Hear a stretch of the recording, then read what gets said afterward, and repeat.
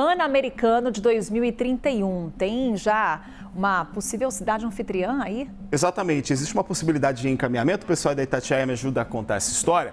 Isso porque, pelas redes sociais, o prefeito de Niterói, o Rodrigo Neves, disse que conversou com o prefeito do Rio de Janeiro, Eduardo Paes, sobre a ideia. O Rio seria a cidade principal do evento, com Niterói recebendo algumas modalidades. Segundo Neves, a intenção é avançar com a ideia a partir de janeiro. Curiosamente, outra cidade que já demonstrou interesse em receber o evento também é brasileira, a cidade de São Paulo. Isso porque São Paulo foi sede do PAN de 1963, enquanto o Rio foi palco do PAN de 2007. E claro que vai pesar questão de interesse, estrutura e, e, e, boa vontade dos atletas e ficar indo e voltando é, pela ponte Rio-Niterói, atravessando a Baía de Guanabara.